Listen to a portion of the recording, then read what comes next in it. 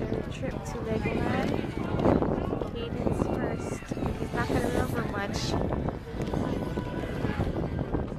And they're building a Legoland hotel opening in 2013. Kaya, where are we going?